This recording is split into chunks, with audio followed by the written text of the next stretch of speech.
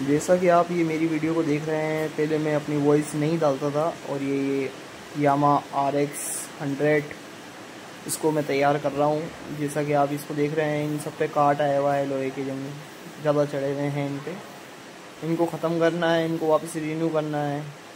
ये Yamaha R X hundred का silencer है। इसको भी रेडी करना है और ये देखिए इंजन मैंने इसको कंप्लीट करके आपको दिखा रहा हूँ।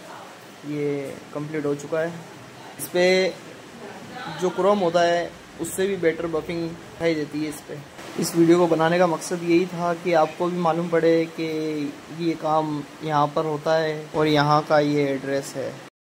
चर्च रोड परीबीड़ी के सामने Avon polish electroplating workshop Beawar में ये काम किया जाता है। जैसा कि आप ये देख रहे हैं, लोहे के सामान पर भी निकल हो चुका है। बारगाट पे भी देख रहे हैं आप, निकल हो चुका है। निकल होने के बाद में इस पर बफिंग की जाती है।